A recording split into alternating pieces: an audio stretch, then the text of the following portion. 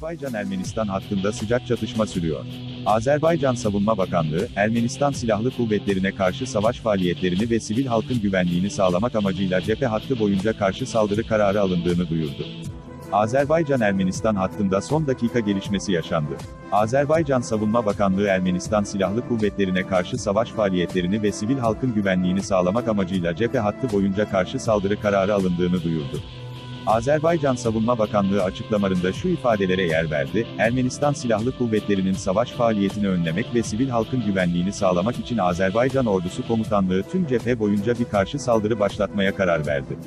Personelimiz ve tank birimlerimiz, füze ve topçu birlikleri, cephe uçakları ve insansız hava araçlarının desteğiyle, cephede ve savunma derinliklerinde bulunan çok sayıda Ermeni kuvveti, askeri tesis ve askeri teçhizatı tespit edip imha etmektedir. Sahadan edinilen bilgilere göre, Ermeni hava savunma birimlerinin 12 uçak savar füze sistemi farklı yönlerde imha edildi. Azerbaycan Hava Kuvvetleri'ne ait bir savaş helikopteri Tatar yönünde düşürüldü, mürettebat yaşıyor, birliklerimizin hızlı karşı saldırısı devam ediyor.